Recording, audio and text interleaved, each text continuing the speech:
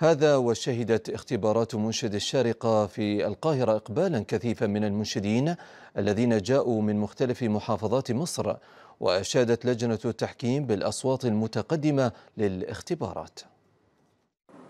إن قدر الله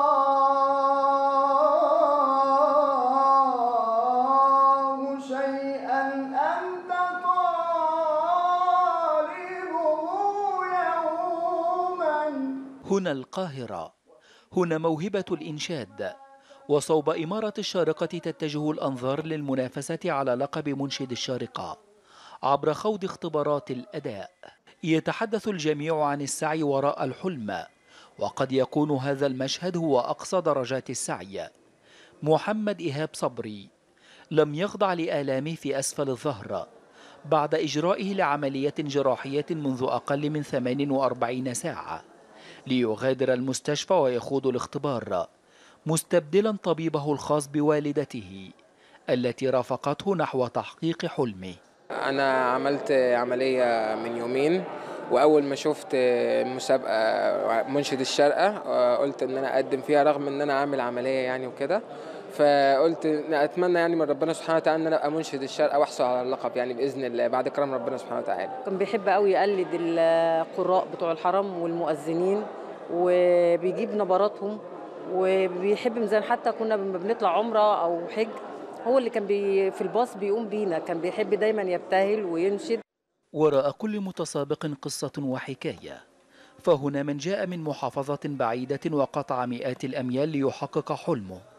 وهنا كفيف جاء برفقة صديقه ليضيء له طريقه أما هذا فجاء مشجعا لأخيه الأكبر.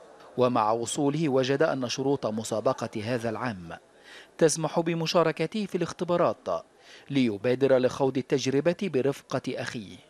أنا كنت جاي على أساس إن أنا أصغر من السن يعني إن أنا 18 سنة أصغر من السن. لكن قلت إيه إن أنا هاجي آخد خبرة وهكذا. لكن فوجئت إن السن أصلا بقى ينفع إن أنا وأنا عندي 18 سنة إن أنا اشترك في المسابقة وممكن في فرصة إني أفوز.